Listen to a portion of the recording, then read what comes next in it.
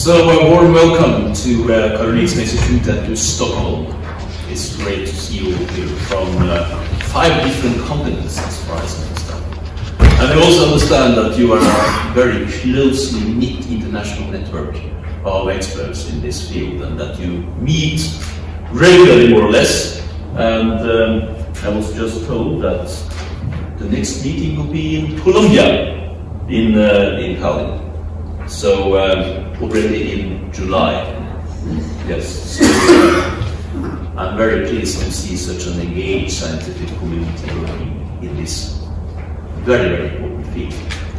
And um, as you said, I've had the opportunity to go through the uh, actual evidence, the figures, and uh, the progress is not perhaps what we hoped for. And uh, as you say, we should not really on prayers, but on evidence. And, as we discussed uh, just prior to, to, the meeting, perhaps on more passion for this uh, very, very important task of using death on the roads.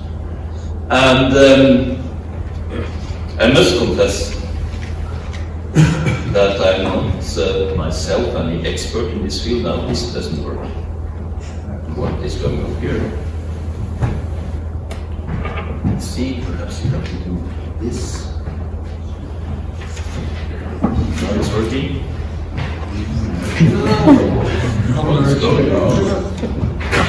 That was not a good start.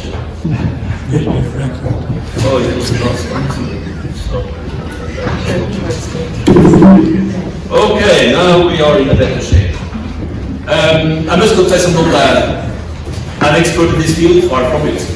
But uh, I dare say I follow the debate that is going on also here in Sweden. And Marie, you're coming back to this. Uh, what is the uh, talk of the town now in Stockholm, given this uh, conference that will be from tomorrow? Well, this is, uh, how many of you understand Swedish? oh, okay, a minority. But uh, this is in fact an article published uh, On this very topic that we're discussing today in uh, one of the leading newspapers of Sweden. And uh, it goes back to the uh, zero vision, vision zero, that uh, is more or less the backdrop of the discussion today. And in this article, they state that, uh, well, we have to reduce speed, the speed limit to 20 kilometers an hour to be close to vision zero. We can uh, discuss whether that is uh, practically possible. But anyway, there is a discussion going on in Sweden as we speak on this very issue. That is the uh, starting point for the meeting today. Much is going on when it comes to um, science and research within this field in Sweden. I'm proud that uh, we are engaged in this very topic here at Karolinska Institute, but also other universities, obviously in Sweden, are very much interested in uh, paving the way for an increased road safety due to research and uh, new evidence. And uh, we also have, in fact, representatives from all the Nordic countries here, so uh, that's great.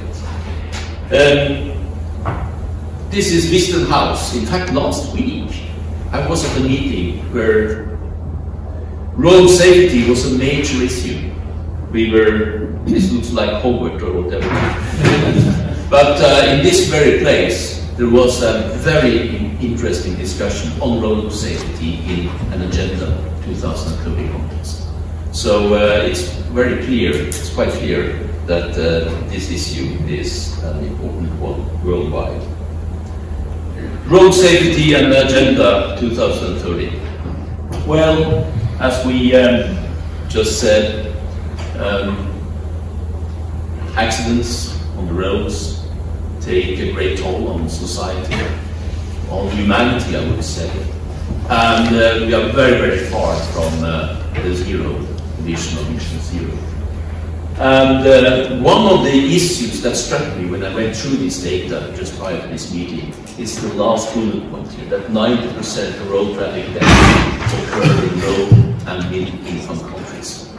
despite the fact, if I understand it correctly, that uh, only 60% or 63% of the world's cars are found in these very countries. So there is an enormous disparity between different countries when it comes to the toll that accidents take on uh, societies and humanity. And uh, of course, the backdrop for this meeting is very much the uh, Sustainable Development Goals. And uh, there are two goals in particular, as we know, that uh, address the issue of uh, road safety, and that is goal three, which is of course very important goal for Karolinska Institute being a medical university, and also uh, goal 11.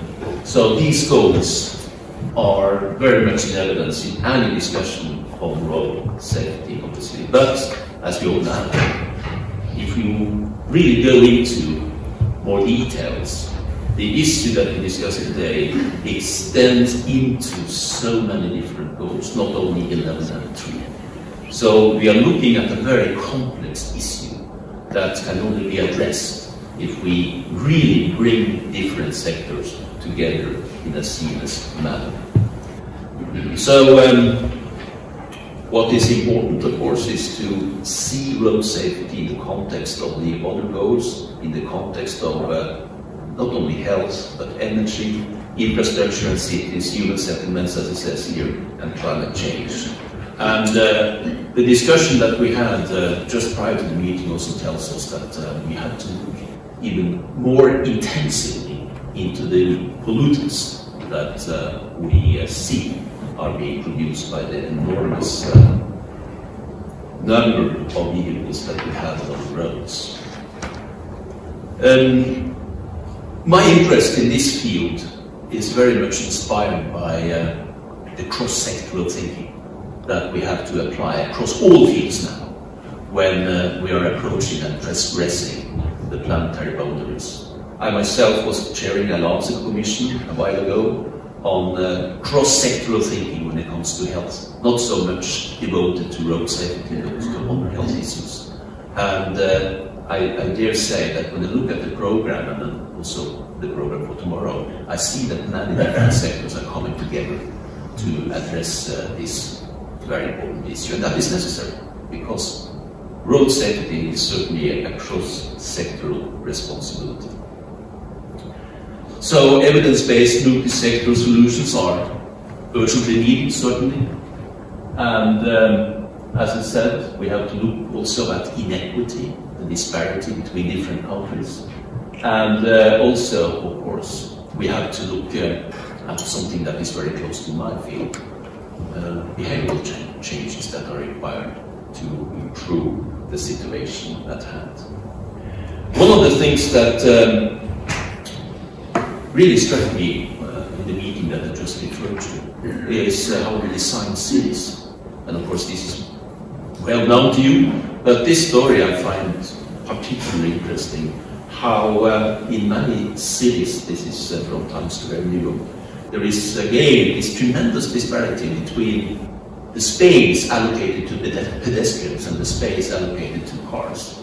So uh, if I understood uh, this correctly, Jeff uh, was uh, telling me about this, that uh, Times Square this point in time, that 90% of the people were pedestrians, 10% car, but 90% of the space was allocated to cars.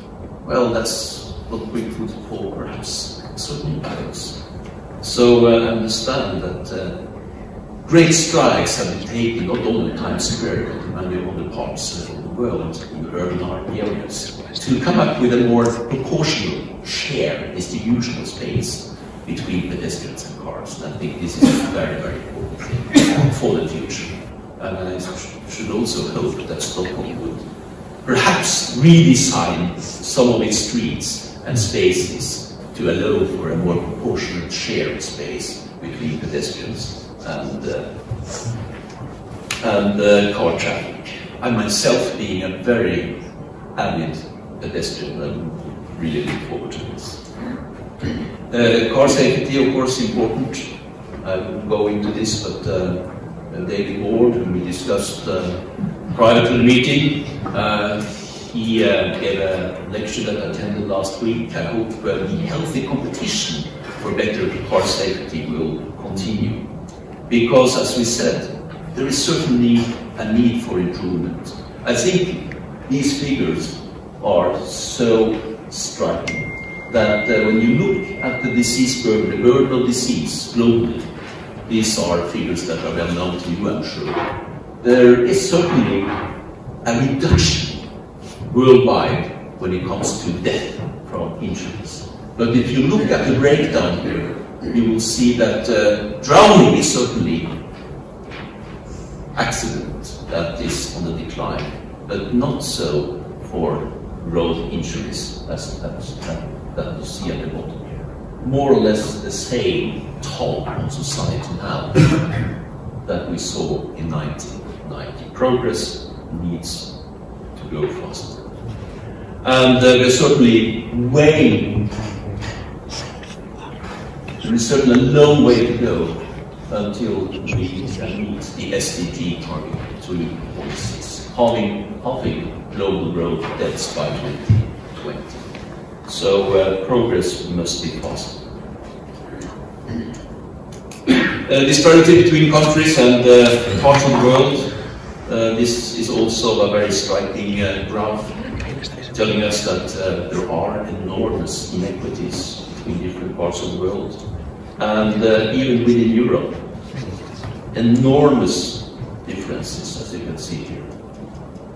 And, well, Sweden, Norway, yeah, in a pretty good situation, but still far away from vision zero. So, uh, being a scientist myself, I would say that um, evidence is required to save more lives. Obviously, research is required. But uh, we also need other elements, as we said, passion, obviously, a societal engagement this particular reason. We need leadership, we need infrastructure design, safety standards, obviously, and uh, enforcement of traffic laws. All these issues are well known to you, and I think every discussion on uh, Vision Zero has to encompass all these different aspects and all these different lines of expertise. In the last Commission that I was chairing, we uh, thought that perhaps we should have a society with uh, multi-stakeholder platforms addressing important uh, societal needs and important societal challenges. So uh, we should perhaps bring different actors together in a much more efficient way to address these needs. And what about education? Uh, at Karolinska Institute, we want to instill a much better understanding of this challenge and all the challenges impacting us in our students. And uh, we would like to rethink higher education in the perspective of the uh, Sustainable Development Goals. This is for a meeting we had last year with more than 500 students from all over Sweden uh, discussing health in the context of uh, the Sustainable Development Goals. So finally, we have a new uh, strategy, Karolinska Institutet. Uh, we want to be groundbreaking, obviously, in our research. We want to act and think globally, as we are doing in this particular session. And not least, we want to be an engaged university. And that means not only to provide evidence and research, but also see to it that research and evidence are implemented in practice and in policies. That is also an important task as I it over the years. Thank you very much for uh, your attention. Wish you all the best for the academic meeting. And uh, now with the sun coming up, and with no snow, uh, with the safe driving in Stockholm, I think everything is in place for good discussions. So hope you will enjoy staying Thank you for your